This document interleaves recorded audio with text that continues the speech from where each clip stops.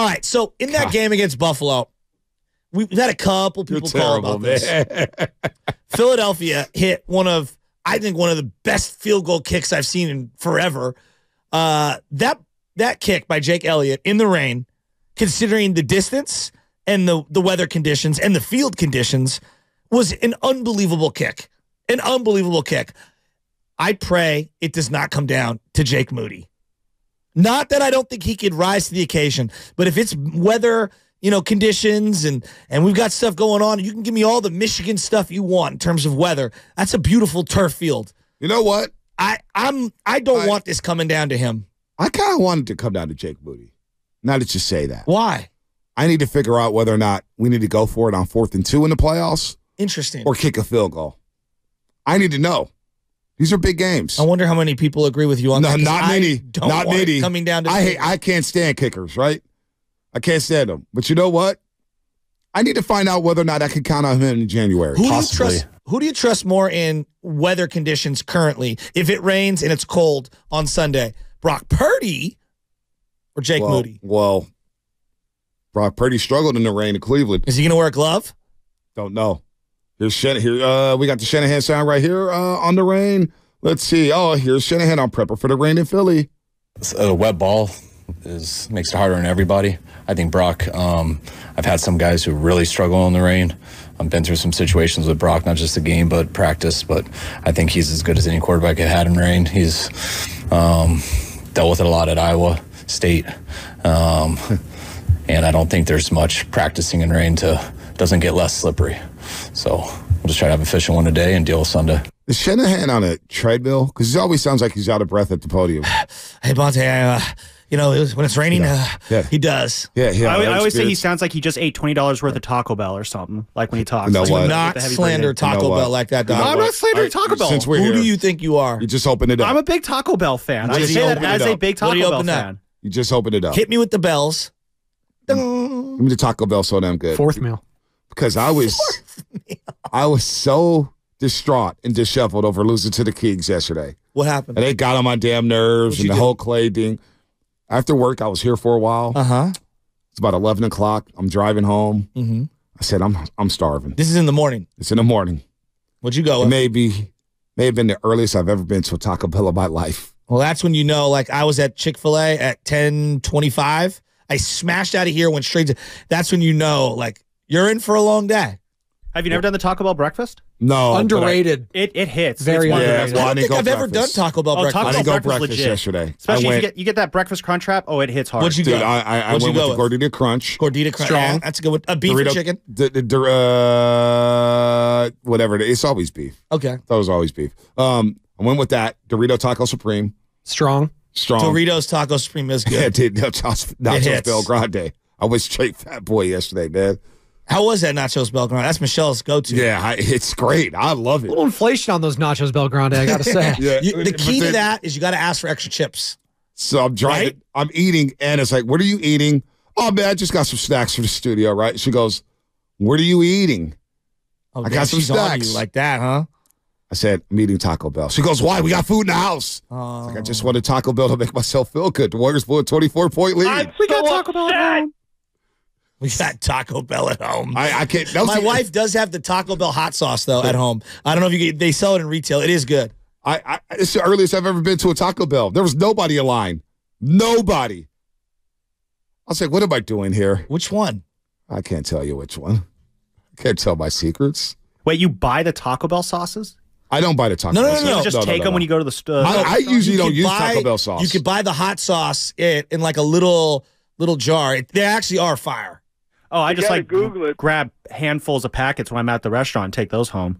I used to do that, but I don't use the sauce anymore. Um, Oh, I gotta have Shanahan on the sauce. rain though, I got it. prepping for the rain. He's not worried about Purdy in the rain.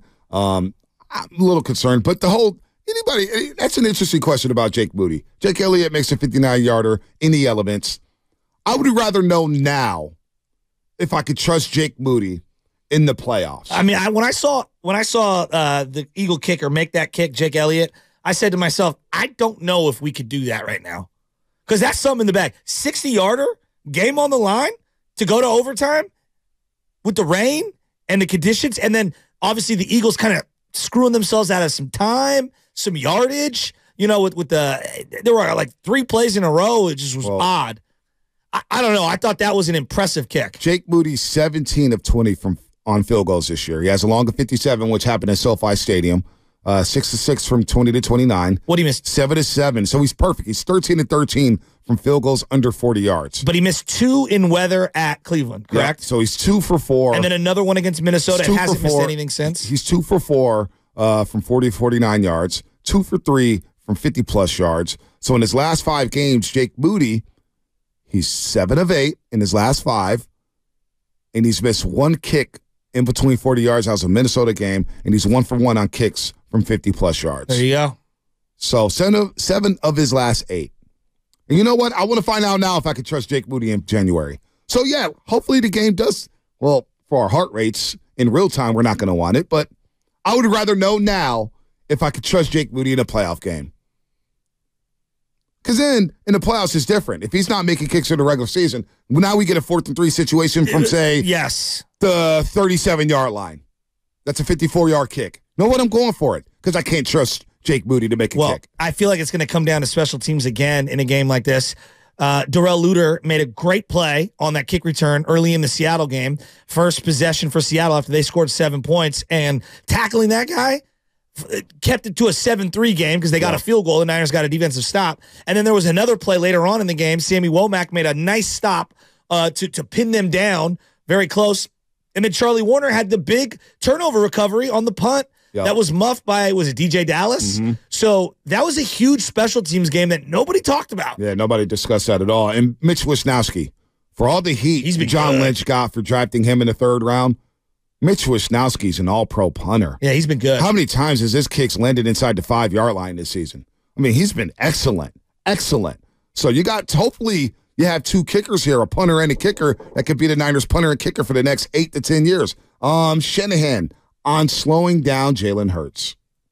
Yeah, you want to try to keep him out of those situations first and foremost. I know it's possible to stop, but I think it's pretty proven that it's extremely hard. So you try to keep him out of those situations, and um, they do such a good job of balancing everything out with the dropbacks, the play actions, the RPOs, the quarterback run game, the regular run game.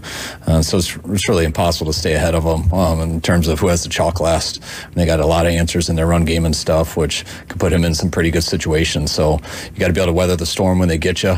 Um, let it be a first down and not a touchdown. Um, play very disciplined, very sound, and when you get your opportunity to make plays, you can't miss them.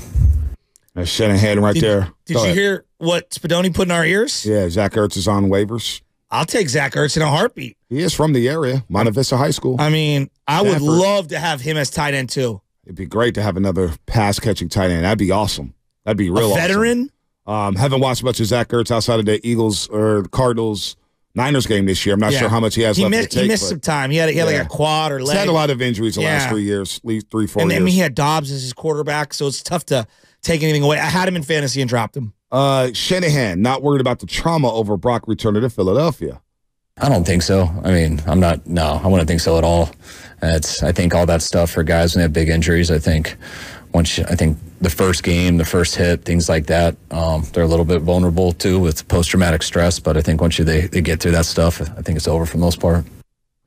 He's not worried about the PTSD. Uh, does he take the game in January, January 29th, NFC title game, into account when preparing for the Eagles? You throw it out and start from scratch. I mean, you would if, if it's early in the year, but when you have this much tape, you don't like to watch what they were into last year, or we're just both different teams, um, different styles. You evolve all the time, and you evolve each week. And I think a lot of that stuff can, in my history, it hurts you more than it helps. Are Are they a better team this time around? Niners? Yeah. Yeah. Brock Purdy's better. I think so, where he was at. I think they're healthier. Um, they're healthier. No I think their defensive that. line's better. We'll see on Sunday. Because I thought that D line was good. Well, Omenihu was good, man. No, he was. Omenihu was good last year. But it, they're they're so when Bosa had what 18 and a half sacks last year, next closest was five. Mm-hmm. Yeah, no doubt. This year they feel a little more balanced. More well rounded. Yeah, I don't know if Bosa's as good as he was last year heading into the playoffs, but in the playoffs he did kind of vanish. Mm-hmm. He did. And I need Bosa. There's a guy that better show up. I know you earlier in the week talk about Deebo and um, Bosa has got to step up. I agree with that. Bosa has got to dominate. what Lane Johnson did to him last year, last season, I should say, should not happen again. And I, I think Hargrave and I think you know Chase need to step up as well. I mean, this is a big game for Hargrave. I'm, I'm, I'm we got him to get over that team. right, but I, I'm looking at the star of all stars, the DPOY, Nick Bosa. What you got for me against Okay. this physical offensive line? I need Nick Bosa to show up on Sunday. Um, Shanahan on being favorites. Somebody asked about being favorites in this game. It doesn't make a lot of sense to me, but I don't really know how that stuff works, so I don't really know why. It is random. Do you believe a head coach when they say they don't know how that stuff works, the gambling stuff? I don't know. I I, I kind of don't understand how it works. quite frankly, I guess that you make a point there. right? I mean, I I, I, kind of do, but I kind of don't. Like, I honestly, I don't understand how the Niners are favored in this game. Do you? You understand the lines, though. yeah, I understand. Like is they're I don't favored by two and how a that half, stuff works. Yeah, yeah, yeah. or whatever the number is right now. I'm a little surprised they're a favorite. I am. Do I think that he is oblivious to who's favorite and who's underdog? Absolutely not. Yeah. I think that Kyle Shanahan knows everything. I think he's got a burner. I think he's watched a video of ours, for example, at some time. I'm sure he's got an Instagram somewhere. I think he sees everything. A man who has Lil Wayne as one of his favorite artists of all time isn't on social media at all. Find that hard to believe. Yeah. I, I don't know about that one. Um, Wait, wait. No, no, no, no. I, You I don't don't know if he's watching. I don't know if he's ever watched our videos. You think he's watched our videos? I think, I, I'd give- think Kyle Shanahan has a burner. Yes. somewhere. Joe Lacob has a burner. I've had enough. Let's go around the room. Spadoni, do you think uh. Kyle Shanahan has a burner? I think all head coaches have burner accounts. Absolutely. Sam Lubman, do you think Kyle Shanahan has a burner? Yeah, I think it's probably a safe assumption to to think that. Why? Why would he have a burner? He Why seems- does he need a burner? He seems too aware to not have one. You know, you know, a guy like Shanahan doesn't need one. You know why? And I know this from just dealing with NBA players. Because their minions have them. I'm not going to call them minions. Oh, okay. I didn't mean I'm like not going to call them minions. They're buddies. But I was just going We'll with send them information. me. I was going yeah, yeah, despicable yeah, me yeah. They, they, they will, they will send them stuff. Hey, did you check this out? Look at this, and they'll show them on their phones. And Shane, but huh, that's cute. Eh, that's cute. He doesn't need a burner because people will just send them information, intel, articles. You know, did you? By the way, do we have the Jason Kidd sound? He went to Tim McMahon at ESPN. Was like, "Why don't you write some positive bleep?" Trust me, people will read your positive stuff. it was pretty funny. I, I never mean- heard Jason Kidd curse. There, there is a lane for being a straight up homer. I'm looking at myself in that category.